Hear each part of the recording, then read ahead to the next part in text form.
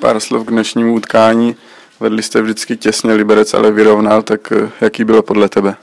Tak zápas to byl těžký, ale dneska jsme to chtěli vyhrát a urvat tři body, protože teď bude 14 dní přestávka a chtěli jsme mít aspoň 6 bodů a to se nám povedlo a jsme za to rádi. 6 bodů i vzhledem k tomu, že z předchozích tří zápasů jste měli jenom tři? No, tak právě proto jsme chtěli to dneska urvat s tím Libercem a zvítězit naplno. Předtím jste hráli se Spartou Sláví, Mladou Boleslaví, teď s Libercem, který z těch soupeřů byl nejsilnější. Tak dobrá byla Sparta, asi nejsilnější byli, a, ale tady je to všechno vyrovnaný a musíme furt makat se všema.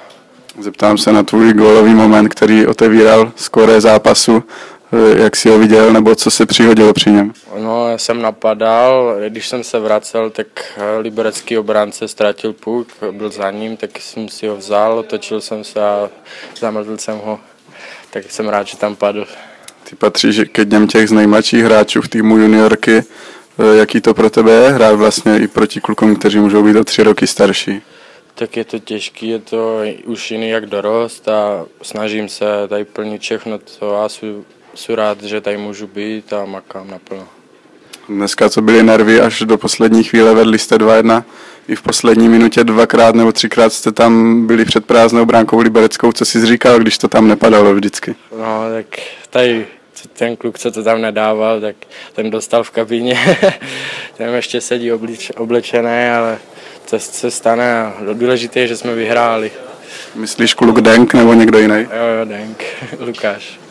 Dneska podle mě skvěle zachytal Pavel Ekel, měl velkou zásluhu na tom vašem vítězství. Tak určitě Pája nás podržel a to potřebujeme, aby nás golman držel vzadu a my tam nějaký gol do, dopředu dáme. Jaký máte program v těch následujících týdnech, když říkáš, že je dlouhá pauza? Tak budeme trénovat, zlepšovat všechno, herní ty prvky a musíme to zdokonalit všechno přesilovky a bude to dobrý snad. Myslíš, že bude konec, konečně víc času na, na to, abyste se sehráli víc, protože mladí kluci přišli v podstatě před, myslím, druhým nebo třetím zápasem? Tak určitě to bude složité na to, aby jsme se sehráli a všechno si sedlo pořádně a bude to dobrý potom. Tak díky. Děkuju.